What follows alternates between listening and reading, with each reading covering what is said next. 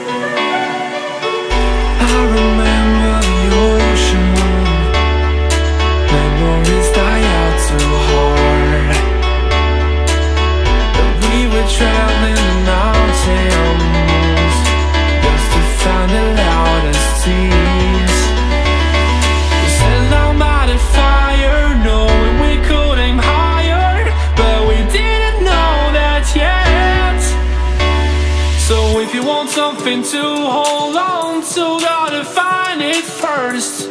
But here I am, cause I've been laying under palm trees, waiting for the summer, knowing there's nowhere to go. Cause I am happy.